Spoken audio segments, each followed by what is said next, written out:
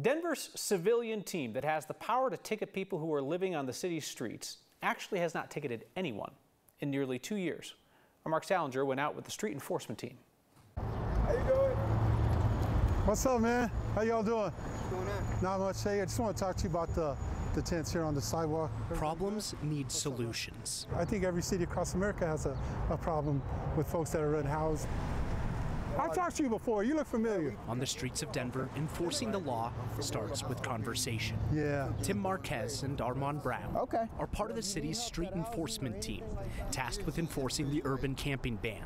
Today, that starts at Park Avenue in Larimer, getting people help. I went with the Department of Safety and I was worried about you just now. The notice to pack up the tents blocking Okay. the sidewalk comes with referrals to resources And they help out with uh, state IDs, housing, Medicaid. and new socks. clothes. I got brand new. These are donated Bombas socks. The stops are short Cool. We good? We're out. before it's on to the next complaint. Good seeing you again. How you doing in there? Can I talk to you right now?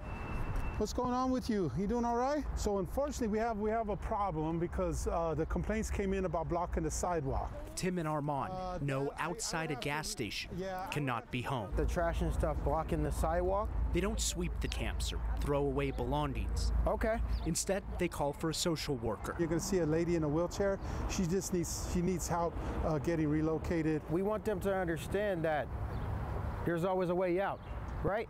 So if there's a way out, that's when we come and we provide those type of resources for them.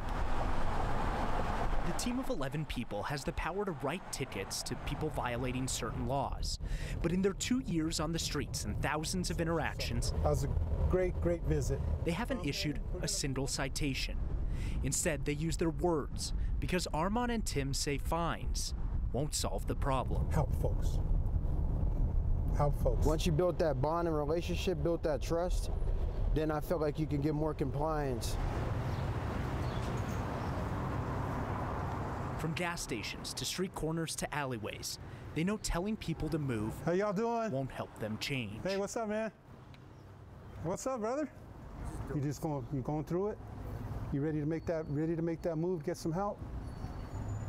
You know, I get I, all I gotta do is make a call. It's hard, bro. I know it's hard, brother, but Yeah, I'm thinking about it, man. you need to get well first and foremost. And I know right now you're like, I'm not ready to go make that move. Problems are everywhere. But these guys What today, everyone?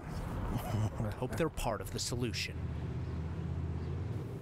The team points people to the AIDS Center in Denver, where people can get access to things like treatment programs, legal services, and even places to store their belongings. We know Denver conducts lots of sweeps of encampments. This team, though, does not participate in those and even has rules that don't allow them to touch any of those belongings. They say having the ability to write tickets keeps that tool open, but Kyle, they say that it's not necessarily a tool they use because they don't necessarily think it's useful.